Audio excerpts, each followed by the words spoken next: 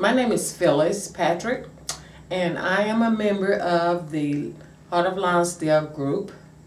And um, our initial initiative in that organization is to bring things to the neighborhood for the children, things that they haven't experienced, and giving them something to do at home in our community and not have to go outside of the community to find these activities. It's all about the children because I've always said the children are our future and we need to do things to keep them busy and out of trouble and by doing these things in the park, renovating, expanding, bringing things that they haven't been able to do in our community.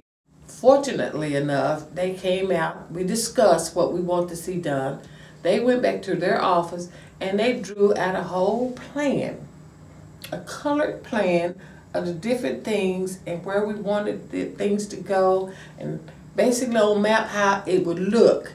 And they were able to bring this to us that we can take to the community and show them um, what all we've been doing to make things to happen in the future.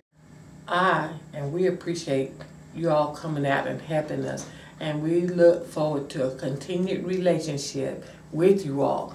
Because I have worked with you all before, maybe not you, but um, someone had drawn up, eh, from your design center, had drawn up a plan of what they want to do, and again in Lonsdale, with the front street, the Tennessee Avenue, and some of the other uh, space that they're going to make, like library, a soccer field, and all this kind of thing. And I'm just, I'm just loving it.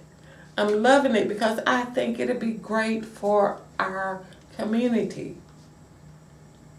We've always wanted things, and you all have ex actually drawn up plans to allow us to see how things will look and will be.